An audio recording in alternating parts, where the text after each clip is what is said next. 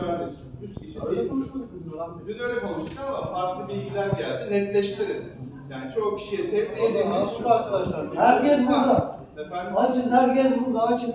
İnsanlar aç. Yemek verilmeyecek kardeşim. De e, dışarıda bir yer bulun. Tamam mı? Ekmek arası. Böyle bir şey yok. E, ne yaparsan yap kardeşim yani. Allah, öyle bir şey var işte. Yok. Var. Kabul etmiyoruz, yok.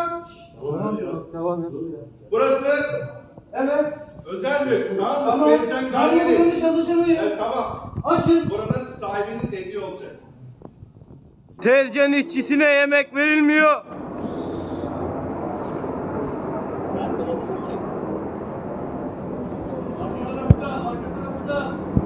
Arka tarafı da arka, arka tarafı da.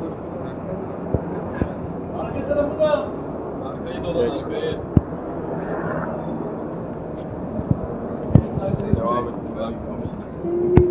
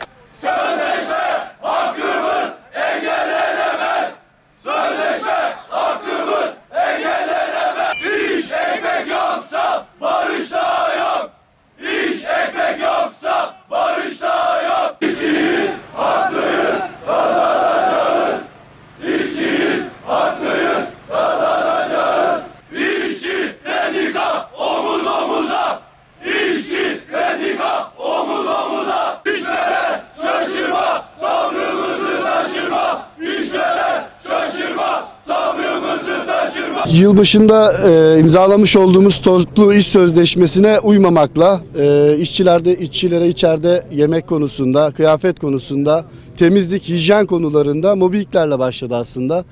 E, şu anki meselemiz iş kıyafeti olsa da bunun tabi e, bardağı da, e, taşıran son damla olduğunu söylemek istiyorum. Sürecin başından beri işçi her zaman işinin başında, işinin makinesinin başında oldu. Ee, kışlık kıyafet verilmediği için rapor aldığı gerekçesiyle cezalara maruz bırakılmak istenen arkadaşlar oldu. Dün saat 8 itibariyle e, 8-4 vardiyası arkadaşlar fabrikaya giriş yaptık. Ben de dahil olmak üzere. Ee, dediğim gibi kıyafetimiz olmadığı bu şekilde makine başında çalışırsak ki e, ölümlü iş kazalarına maruz kalacağımız gerekçesiyle işten kaçınma hakkımızı, anayasanın bize verdiği işten kaçınma hakkımızı kullandık. E, bunun e, akabinde patronumuz o zaman size yemek de yok dedi. E, yemek vermedi. 11'de yemekhaneye gittiğimizde e, fabrika e, müdürümüz Orhan Bey yemek memek yok. Burası özel mülk gidin dışarıda yiyin gibi söylemlerde bulundu. Hepsi videolu şekilde, kayıtlı şekilde, kanıtlı şekilde e, arkadaşlarımız da mevcut. E, iş çıkışında evimize gitmek istediğimizde saat e, 4'te şey 16'da servislerin gelmediğini, 4-12 vardiyasının işe getirilmediğini, içerideki arkadaşların da kendi imkanlarıyla evine gitmesi gerektiğini söylediler.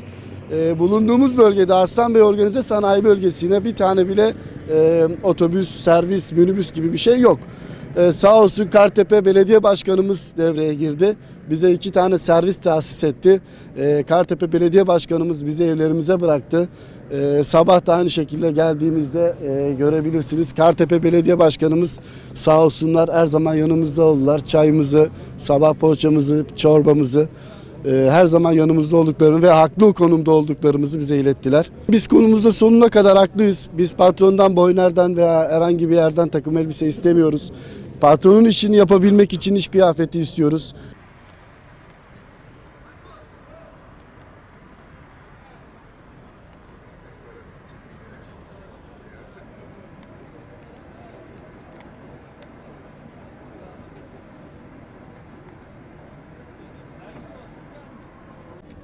Sevinç, ben sevincini hak etmişim diyor. En çok seni gördüğüne sevince. başka.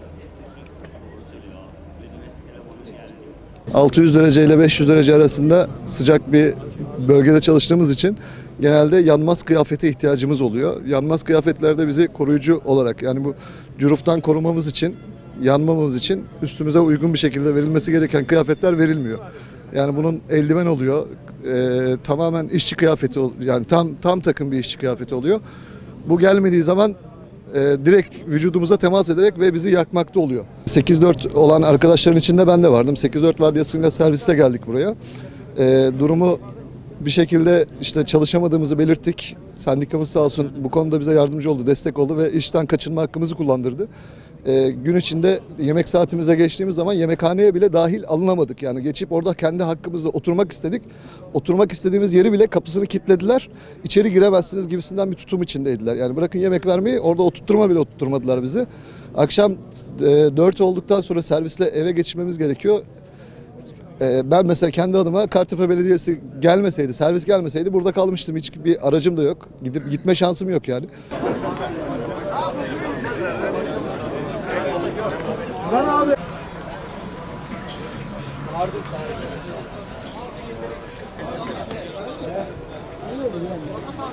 Hayla, Hüseyin.